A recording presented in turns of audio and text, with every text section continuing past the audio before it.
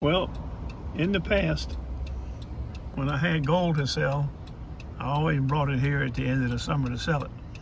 I always paid a good price. Well, I'm getting ready to take this Taquito here that I found in there yesterday and get them to, to tell me what it is. Whether to put it in my gold pile, which is one, or put it in the junk pile. Stand by. Well, now, guess what we got here? Pure junk. As usual.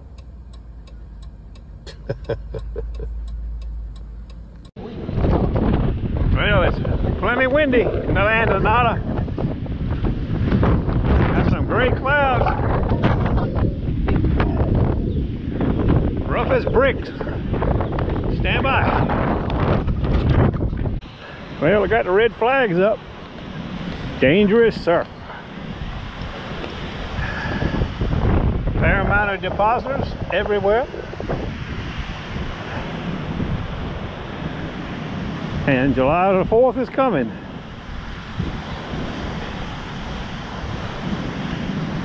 Now these guys right here, they're digging a hole.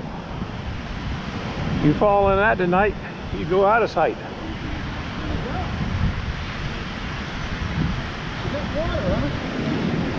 Damn, that's you're looking for some treasure down there. That's a good hole there, boy.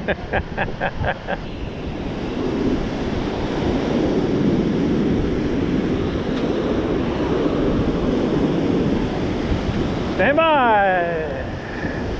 Time already. First target, 10 cent.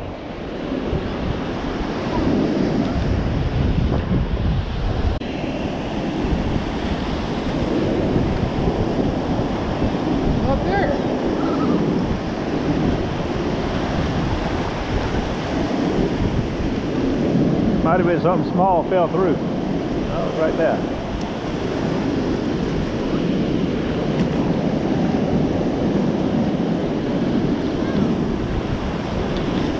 I got, Penny. I got two of them now. Pretty penny.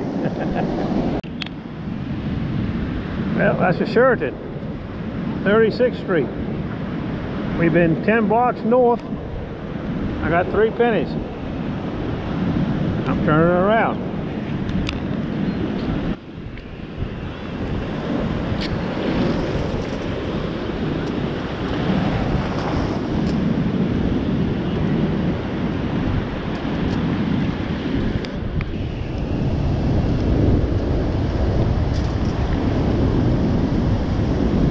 Well, we ran into our buddy Beaver. He'd been over 40 blocks.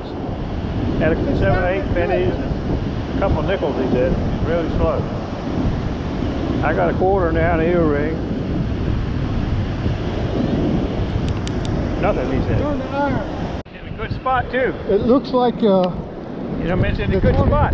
Yeah, This is the best spot there is for that kind of stuff. heavy too. Yeah.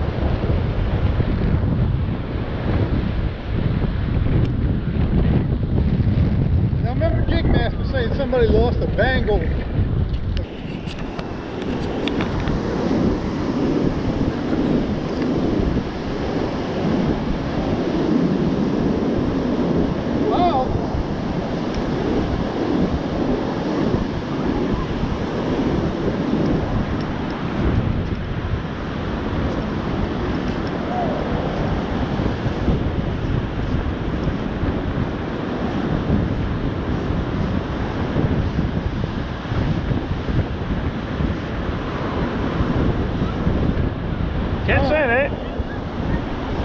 10 cent.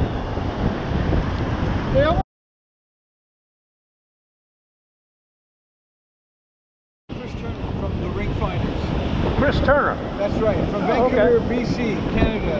Enjoying your Virginia beaches here. I got you. Well, here we go. Like seven or eight pennies, a little wheel, a bling earring one quarter, one dime, one nickel, bathing suit snap. I don't know what that is. And I found that the deuce, beat sensitive, sensitivity at 85. Likes rusty bobby pins. I believe I could have dug several more today. But it was so slow, I was just digging something to have something to dig. I don't know about tomorrow. I think I'll play pool. Stand by.